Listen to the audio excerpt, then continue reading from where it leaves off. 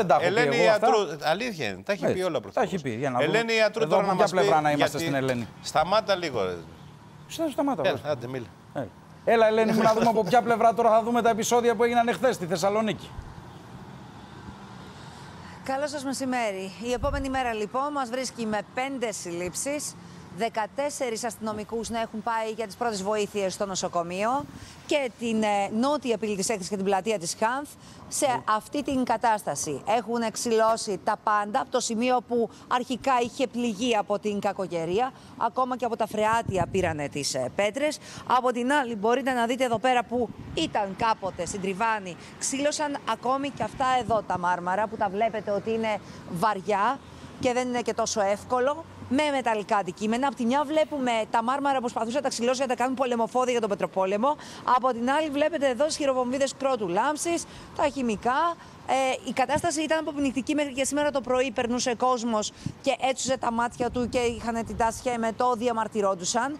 Αυτή είναι η κατάσταση στην νότια πύλη της έκθεσης. Χθες για περίπου τρεις ώρες είχε μετατραπεί σε πεδίο μάχης. Από τη μια ο Πετροπόλεμος από τους διαδηλωτές και από την άλλη η απάντηση με τα χημικά από το εσωτερικό της διεθνούς έκθεσης, από τους άνδρες ε, των αστυνομικών δυνάμεων και λίγα μέτρα πιο πάνω στο, Βελί... στο Νικόλαος Γερμανός Συνεδριακό Κέντρο ήταν η πολιτική εκδήλωση του ΣΥΡΙΖΑ, παρουσία και του βουλευτή του ΣΥΡΙΖΑ του κυρίου Μηταφίδη αλλά του κυρίου Βερβέρη, τους στελέχους ε, του ΣΥΡΙΖΑ, Ναι. που θα ενημέρωνε ανοιχτή για όλους τους πολίτες για τα ωφέλη της συμφωνίας των Πρεσπών. Έχουμε και Ο κύριος μια, Μηταφίδης μια, ήταν έχουμε και εκεί μια δέχτηκε φωτογραφία προετοιμασίες. ε, από το πόσος κόσμος βρέθηκε στην αίθουσα. Είναι λίγος ο κόσμος, να τη δείξουμε τη φωτογραφία.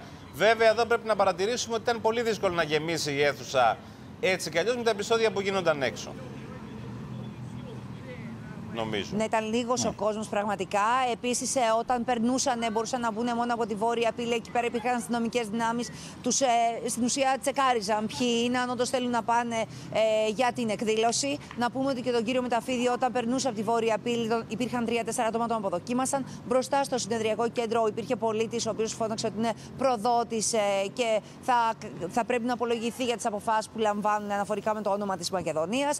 Από την άλλη, εδώ πέρα είπαμε ότι υπήρχε ο Πετροπόλεμος. Εγώ να σας δείξω ε, στο νότιο τμήμα, απέναντι ακριβώς από την ε, Χάνθ, υπάρχει μια καντίνα. Εκεί λοιπόν, για να καταλάβετε και μπορείτε να δείτε και τη φωτογραφία, εκεί ο Καντινιέρης, Το δείξαμε, σαν να ναι. το ξέρε, Ναι, ναι, είχε ναι. προνοήσει. Ωραίος. Και έβαλε και αντιασφυξιογόνο μάσκα. Είναι και παουτζής ο Το κέντρο Καουτζινιέρης. είχε νεκρώσει. Και από δεν το έχω ρωτήσει αυτό. Μάλιστα. Ε, και τη σημασία μπορεί να έχει, θα σας πω εγώ. Εκείνη την ώρα ήταν ελεύθερος επαγγελματίας που ήθελε να βγάλει το ψωμί του. Εν πάση περιπτώσει, το κέντρο είχε νεκρώσει και από τη βόρεια και από τη νότια πλευρά. Ε, από τους ε, υπόλοιπους ομιλητές μπήκανε από παράπλευρες ε, ε, εισόδους και όχι από την κεντρική για να μην δεχθούν τις αποδοκιμασίες. Και μάλιστα στην εκδήλωση μέσα κατάφεραν και μπήκανε 4-5 άτομα τα οποία κάνανε ερωτήσεις στον κύριο Μηταφίδη που δεν πίστευαν ότι υπάρχουν ωφέλη από αυτή τη συμφωνία.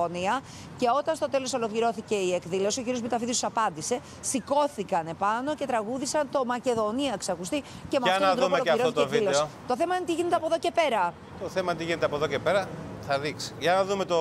Γιατί; βίντεο. Ναι, μισό λεπτό, Γιατί; Ελένη, να δούμε το βίντεο αυτό που έστειλες και αμέσως ολοκληρώνεις.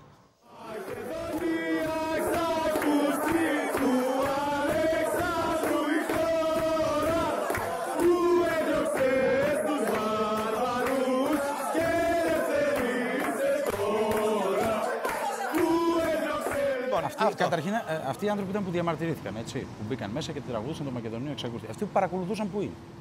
Εκεί μπροστά Μπήκαν ήταν. όμως πολιτισμένα, ξέρετε. Ναι, ήρεμα πράγματα. Με άλλο τρόπο. Έτσι. Δηλαδή, περίμεναν έξω, δεν ενόχλησαν, μπήκαν μέσα, έθεσαν ερωτήματα, πήραν απαντήσεις, ξαναέθεσαν ερωτήματα με, έτσι, με μια τάση αμφισβήτηση, αλλά σε επίπεδο διαλόγου. Και στο τέλος τους ακούσαμε να τραγουδάνε και το Μακεδονία ξακουστεί. Να σας πω ότι σήμερα στην Καλαμαριά υπάρχει μια ανοιχτή διαβούλευση για τα στρατόπεδα που διοργανώνουν, ε, διοργανώνει ο ΣΥΡΙΖΑ και εκεί θα είναι ε, κυβερνητικά στελέχη, όπως ο κύριος Βερναδάκης, κυρία Νοτοπούλο, υπουργός ο κύριος Αμανατίδης.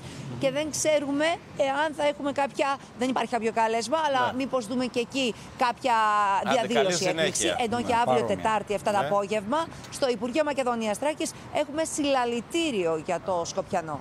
Γεια σου, Ελένη, μου ευχαριστούμε Να είσαι πάρα καλά, πολύ. σε ευχαριστούμε πάρα για πολύ. το πλήρες όπως κάθε Πετυχημένη φορά. εκδήλωση ρεπορτάζ. πάντως, δεν μπορώ να πω. Βάνα Κουντρουλού, αίθουσα ειδήσεων.